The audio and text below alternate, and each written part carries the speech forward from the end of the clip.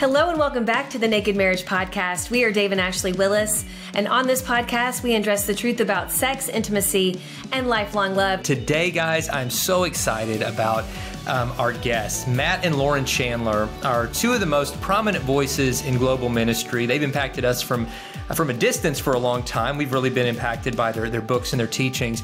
But recently, they've been in the headlines uh, as they've walked through a really unique season in their marriage uh, that, that was brought to light from um, Matt uh, admitting to um, an, an, online interaction with a woman uh, that, that he said was crossing the line. It was not romantic, it was not sexual, but the frequency and familiarity of their back and forth interactions and joking um, was was brought to light in a way that the church and he felt like you know this this is out of bounds and so they're going to walk through what boundaries look like in marriage what they've looked like through this season and this kind of very public season of walking through um, this event. And so they're so gracious to come and share this. You're going to hear some great wisdom from the Chandlers. So That's let's right. dive in.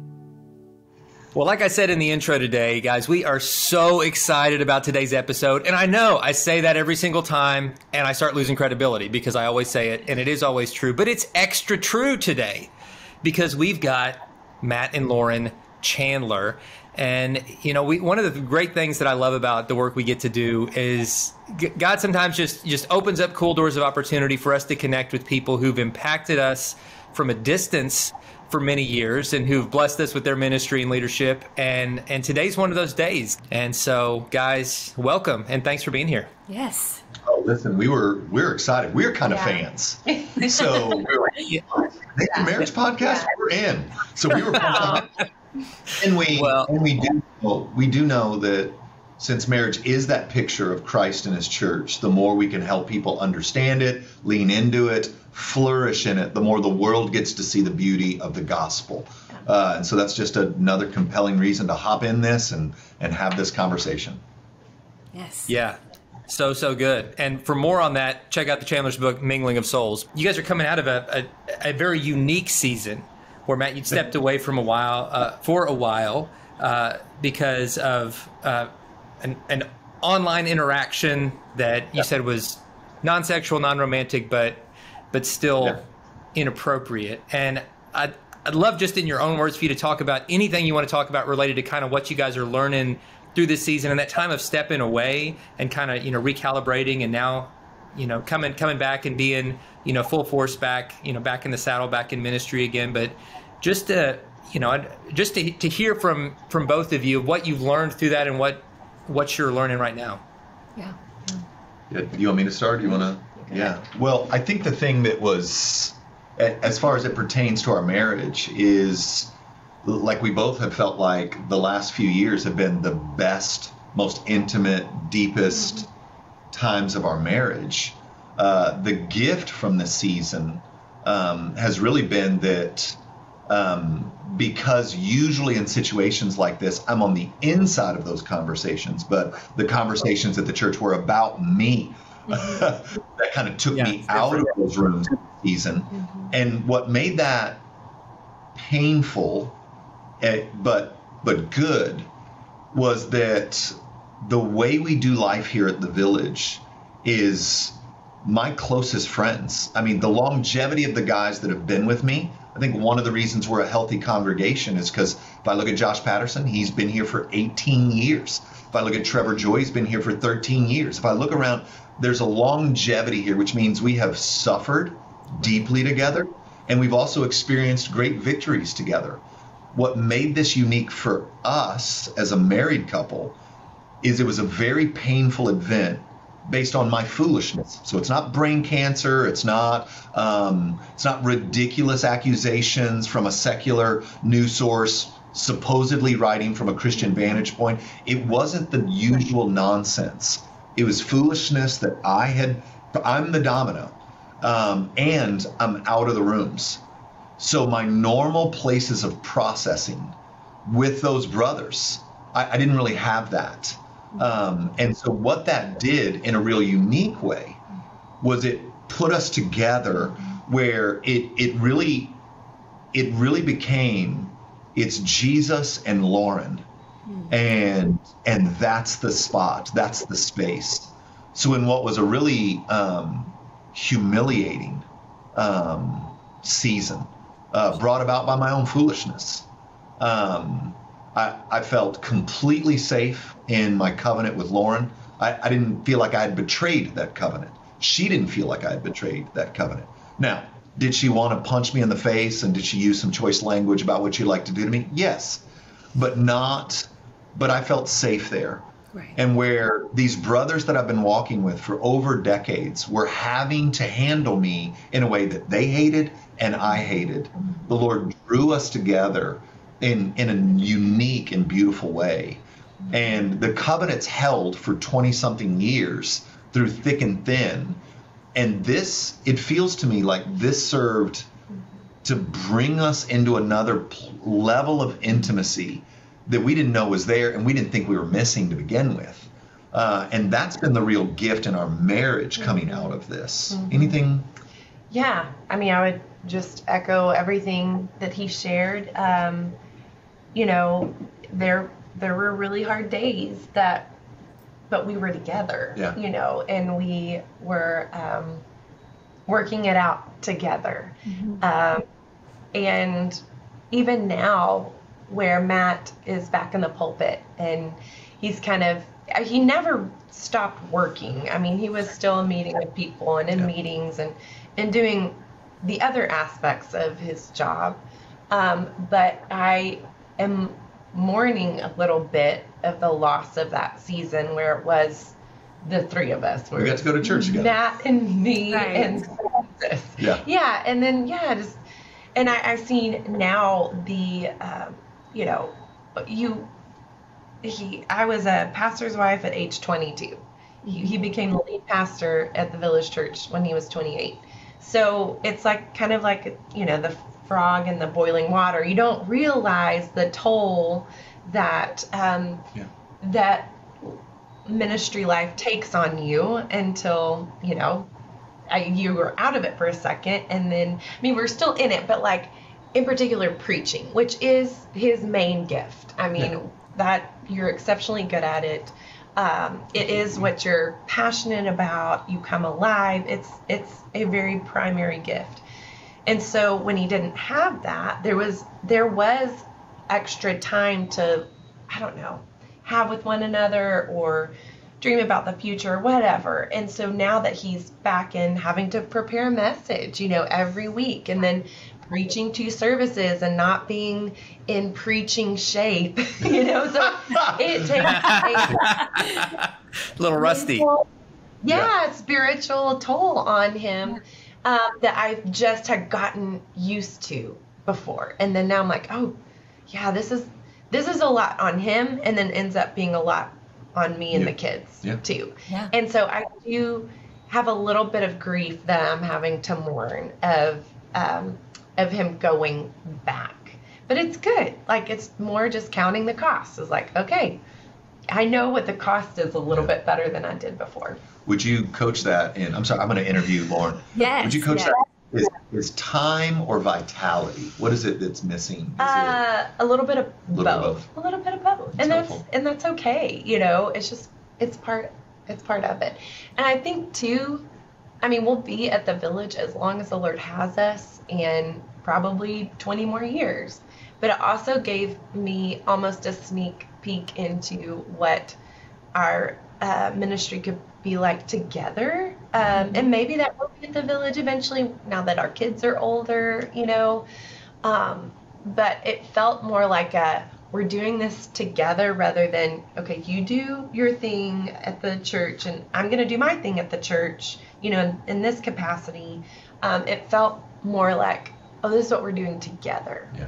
Criticism has always been part of the price of influence, and but now within the church, there are all these people acting like they have the spiritual gift of criticism, like you know, like that's an actual thing, and that they just feel like it's their job to to go around correcting and and it, it, really is toxic. And so I'm so glad you said you said all of that because the it has to start with the church. I think within the church world, you know, we've been so obsessed with with failure porn, as it's been called, you know, where it's like we we just try to we we sensationalize. Um, what's thing. wrong with everything. Right. Yeah. you know, and it's- yeah. and it's really done in a, a very unbiblical way and a destructive way. And Mm-hmm.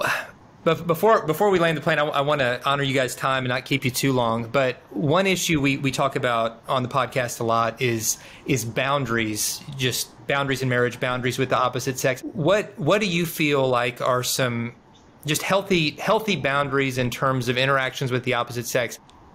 Well, I think you know you you have to apply wisdom, um, and in, in in regards to your own heart and life, and not think too highly of yourself and what you're capable of or not capable of.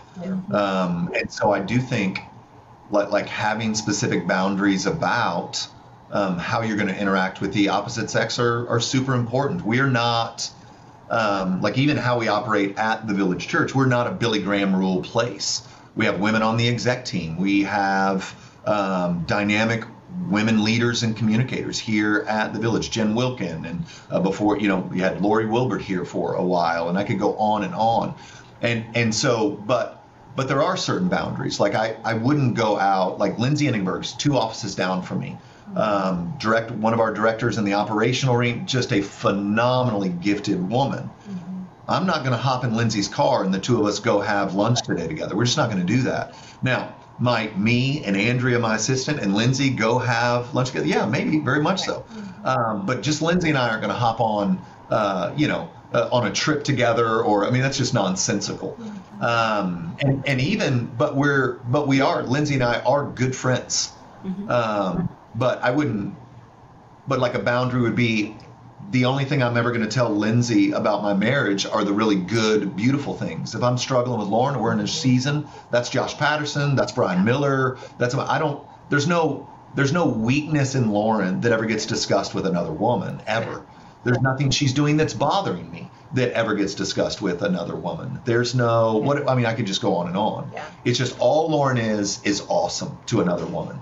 Eh, if another woman is talking to me um, in some setting, Lauren's like like the greatest gift outside of salvation God's ever given me. There's no weakness in this woman. Maybe laundry, maybe, but maybe not even. that. That's right. I, yeah, That's your she's good at second spiritual gift. That's gift. it. So, um, so, so that would be one because I'm not a. I, I just think I've got more problems with the Billy Graham rules than I think it actually solves. Uh, but maybe that's a whole nother discussion for another day. So we we do have friends that are the opposite sex, but there's certainly boundaries within that framework. Like I said, I'm not I'm not going anywhere with Lindsay where there's not a group of us going. Um, I'm not consistently texting back and forth with Lindsay that's not on a group text. Yeah, so I think all the same boundaries. We both share the same boundaries. He just has more opportunities for relationships with other women just because of work, where Sure. I, Yeah. yeah, I don't much. Well, talk about how do you like when you I think about your bands Oh. or spaces like that.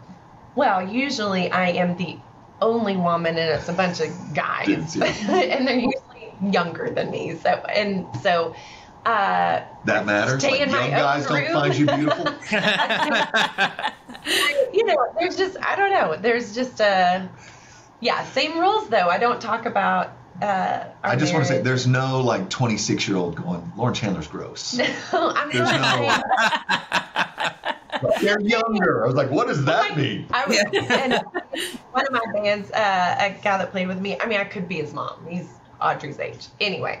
But uh, yeah, I just I make sure that I I, I don't um, you know talk about things that would create some kind of bond or would kind of put me and this per and this man against you or you know in between us. So I mean the same the same boundaries, same rules. It's just I don't I don't have to activate them as Yeah. often as you do. And I would, I think a, a, a key learning for me in particular is the the platform of communication matters. Yeah. Um, and what I mean by that is like some of the trouble I got myself in, uh, and some other words I would use is Oh, frequency yeah. and familiarity, Yeah. yeah. um, had to do with frequency. Yeah. And I was somewhat, I, I think the better way to say it would be I lacked awareness around frequency because I wasn't getting into Instagram to chat to anyone. I was getting into Instagram to post or to look at something that post or, or look at my feed and I'd see a red bubble and I would click on the red bubble and I'd interact. And then I would maybe put my phone down and then, you know, an hour later pick it back up and then there'd be a bubble and I'd interact with the bubble. And it hid the frequency from me in a way that if it had been a text message, I think I'd have been like, ah, Yeah. that was we just pinged each other ten times today over nothing. That that's probably that's probably not a good thing. Yeah. And so I, I also think the medium matters, Mm-hmm. especially if it's a medium where you're distracted while you're interacting with it. Mm-hmm. And so like my thing now is on I mean, there's just no DMing on Instagram other than maybe a sentence. There is no ongoing relationship on Instagram. Um, even if it's completely platonic or there's because this one was completely platonic Mm-hmm. on both sides um, and so but it's just not wise and so that's the that that's a new boundary Yeah. Yeah. I love that I brought you all together because I know when these kind of things happen, and like you said, you know, Matt, like not knowing how it was going to be handled, not being able to be in the room to decide necessarily everything that was handled. Um, but I, I do want to say right out of the gate, I feel like from our perspective of just of what's put out there publicly, you all handled it with such grace because a lot of times, you know, we've been in ministry for a long time as well, and we've, you know, we've seen a, a lot of different things happen with with pastors and it's not always handled so gracefully when the powers that be kind of decide what road you need to walk. And you guys just had such integrity and such um, grace. And I, I just as a as a person outside just looking in it, it it just was awesome to see that. And i feel like um, that in and of itself is kingdom building. So i just want to say that just as a like an outsider looking in um, it gives us hope because a lot of times these things tur snowball and turn into just yeah. you know Yeah. a lot a lot huge you know bigger issues that you're like this wasn't even this issue. But um, i do want to say i'm sure that you know here you are you're both handling it. Like you said it's the two of you and jesus. I'm sure there were some voices sorry i didn't mean to hit you in the face. Um, if you're watching i'm just about like using my hands too much about to hit dave in the face. Um, but i'm sure that there were like some voices from the outside you know that weren't necessarily saying kind things and and also people mm-hmm. getting the story wrong and saying things that happened that didn't happen and uh, that can be Yeah. so maddening how did you all handle that i mean i know that had to be going on I my my primary way of handling it is not to read anything. Yeah. yeah So I'm on. I mean, I've got. I think I've got half a million Twitter followers. I don't think I've got on Twitter in five, six, seven years. I'd be curious of when the last time I posted. Mm-hmm. Like Yeah. that. That place is so toxic, so wicked, so. Mm-hmm. Um, and and Instagram's easy because I can delete you and block you, and I'm like quick and without mercy. Like Yeah. even if you maybe trying to be kind, but I'm in a bad spot, I might block you. So it's just not. I'm just not going to give somebody permission to come at me or ruin my day. Mm-hmm. One, the Lord hasn't given me them for Yeah. accountability. Yeah. Yeah, like sure. I, I mean, I obviously have accountability. I mean, I and they're not a good old boys club. Yeah. And and they just were unbelievably courageous to step out and do this. Have so much respect for our elders here. And I'm a man under authority. Mm-hmm. And and so so I did hear things because people will be well meaning mm-hmm. and they'll try to text me like friends, like good friends who after the blast radius has settled down, I'm gonna have a talk to. Where they'll just be like, hey man, I can't believe Christianity Today said this and this and this. Hmm. And I'm like, well, I had no idea anybody said that Right. until you texted me this. Mm-hmm. Thanks And for so that's my my yeah yeah, that's my primary way is I'm just not here's where I can sleep. I know what's true. My wife knows what's true. A group of very godly men and women knows what's true. Yeah. And I'm in happy submission to their authority. And I have just learned over the years that there is a group of people that do not know us and they love us. And no matter what we do, they love us. There could be a video leaked of me clubbing a baby seal. And there'd be a big group of people that are, what did that baby seal do? That's Matt Chandler. He can't, but they don't know us. They don't know us, and they don't, they certainly don't know what's best for us. Right. And then there's a group of people, and it's a smaller group of people, and they've just already decided that we're the problem. And they dislike us, and anything they can read into anything we do that's negative and slanderous, they're going to do. And they don't know us, and I'm not accountable to them, and I don't owe them anything. I don't owe them explanations. We don't owe them time or energy or emotion. And then there's this new group of people that I think are indifferent to us, mm-hmm. but it's really good for their business model if I do something shady or if Lauren and I fall apart or because it's going to get clicks um, to their pages, blogs, whatevers. And yeah. so, what I'm trying to do for our own sanity, what yeah. we try to do, is we feel like we're fully known people. Like we don't have a lot of secrets. We walk in deep intimacy with good friends over a long period of time. We feel known and seen.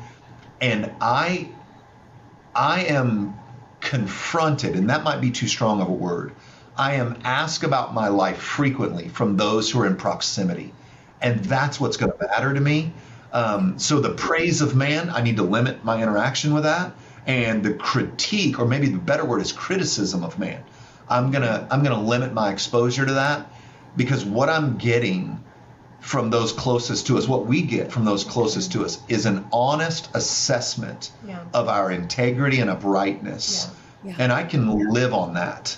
But I think that's a really great insight, though, that there are certain certain mediums and also just certain certain situations, situations yeah. where naturally people are going to let their guard down. Right. Moments of deep trauma. I think moments of great celebration. Yeah. You know, when you're kind of on the mountaintop and high fiving, and how quickly you know that can lead to to moments of, of bonding that could cross lines of, of intimacy that are completely unintentional. Yeah. And yeah. I'm just thankful for the conversation today and for you guys being willing to, to have it. Cause I, I feel like, I feel like in a lot of ways, the, the, the courage and the transparency with which you two have, have navigated this and, and just been so out front with what you, you're learning through the whole thing, I think that it could help prevent a lot of people um, from from crossing crossing lines that could that could lead to adultery you know because i think that it it's so often so many of the couples we counsel that that end up in an affair it starts out innocently. Right, it starts out for that. Yeah. without you know without any kind of sense of boundaries and or frequency or any of those things. And next thing you know, you've developed a bond, and that bond um, goes from platonic to romantic. And you know, thankfully, you know, this was you, you, guys were able to nip this in the bud long before it got there. But um, I think your courage and being willing to talk about it will maybe give other people the courage to have conversations about what are those places in my life where I've, I've let a blind spot develop in my social media behavior in my interactions with the opposite sex and and maybe that's going to be some of the important conversations that even come out of this episode that that by applying some of the wisdom you've learned today from the Chandlers that mm-hmm. that it could safeguard your marriage and and prevent um, you know prevent potentially something tragic from happening down the road so Thank you guys so much for sharing it. Before we sign off, though, I want we're, we're in every one of these interviews at the start of the year with with allowing folks to share one nugget of marriage advice. It could be anything, big, small, funny, yes. serious, and uh, yeah. and and so of the folks that have been waiting this whole episode for this nugget of gold for the yeah. Chandlers. Not too much pressure. They fast forwarded. They skipped the whole conversation just to get to this point from each of you. So, what do you got? I honestly think, um, like flourishing marriages are like they're just cultivated over time, yeah. and so uh, to just keep leaning in. So we still, yeah. we, I mean, we go out, we still date once a week as best we can. Uh, we're not legalist. If it doesn't work, it doesn't work. But we still actively date one another. We want to play and have fun. Um, life's hard, so let's piddle, let's play around a little bit. Um, and I know those are two consistent. What would you add? Yeah. Um, this is just kind of a little small thing, but just finding ways to uh, show your spouse that you care. So Matt really cares about our. We do French press um, coffee every morning. Nice. And he's the one that wakes up first, and so he does it but it really fills his love tank if I it get it ready for him the night before. So, oh, like yeah. the beans are in the grinder, yeah. the water. So, finding that one thing. Now, I don't do it all the time. You're fine. But, You're fine. feel loved and seen and cared for and thought about. I know I'll get the coffee ready for him for the morning, and it makes him so happy. It does. So, and a free one, I'll do a bonus. Um, we had, we didn't broach this subject, but it's it's okay to calendar sex. Yes. Oh yeah. Yes. It's calendar sex. It's not doesn't take the pizzazz of it or the Yeah. like get that thing on the calendar. I mean, I, I was texting earlier today, what time does Reed get Yeah. home from school? Looking for a window. Afternoon delight. so calendar it, man. I So, totally agree. that with would- you, it'd be the best thing on your calendar. I'm telling you. Look We've all got stuff it. on the calendar we don't look forward to, but you got a little star by 2 p.m. on Tuesday, and you Right. know what that means? Like you're gonna look You can use forward. those code words, right? If you if you got an assistant that sees your calendar, or your kid does or something, you just be like, um, just start like check the garage, or just have some codes or Yeah, something. Yes, that- codes. There you go. Just put, Uh, Dad, it's fine. just put French press. French press. That's right. French press. That's it. French press, 2 p.m. That's a good time for French press. Anytime's right for It's a French little press. pick me up. Yeah. Anytime. Anyway, that, was, that would be ours. Oh, I love it. You guys are just awesome. Thank you all so much for taking the time. We know you're busy people, and we just count it such a privilege to have this conversation with you. So thank you guys so much. And for everybody listening, guys, listen, do yourselves a favor and connect with the Chandlers. Uh, you can find them on, on social media. Um, you can you go to the Village Church, either online or in person if you're in the Dallas Fort Worth area. Check out their many books and resources. They are both a just a wealth of wisdom, and we are honored honored to have connected with you guys today. So Yes. thanks again, and, and God bless you both. No, y'all take care. We'll see you.